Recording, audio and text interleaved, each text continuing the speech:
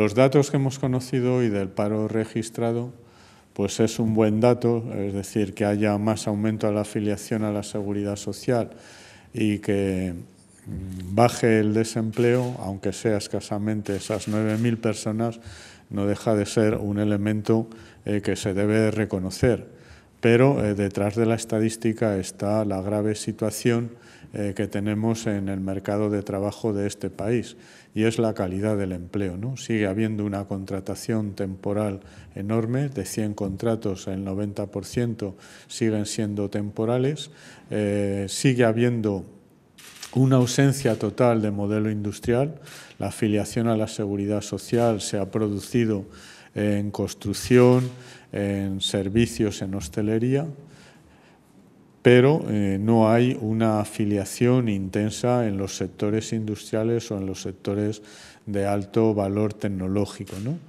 Y hay otro hecho muy grave como es eh, la que sigue cayendo eh, la cobertura de prestación por desempleo. de estar o de haber tenido un 78%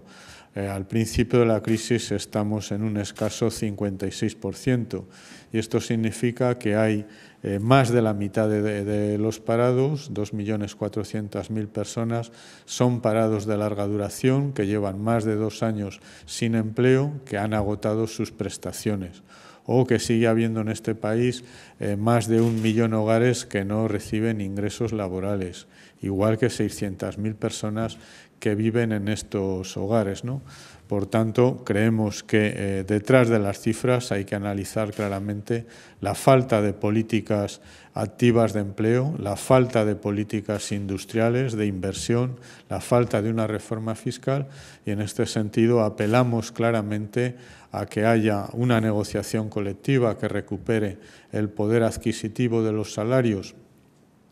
en concreto para que eh, crezca la demanda y aumente el consumo y por tanto signifique también un tirón del crecimiento económico. Pensamos que se debe crear empleo estable y de calidad y no eh, empleo temporal, porque eh, no deja de ser un hecho importante que hay que analizar. En estos momentos trabajamos menos horas que en el 2011 con lo cual, cuando se habla de creación de empleo, igual lo que hay es un reparto espúreo de los puestos de trabajo. Y además, consecuencia de la reforma laboral, se ha producido también un trasvase de rentas de los trabajadores a las rentas eh, del capital este terreno. Pensamos además que urge, y en este sentido criticamos la actitud del Partido Popular de utilizar eh, tácticas marrulleras electorales, de ampliar eh, los plazos para enmiendas para evitar precisamente la discusión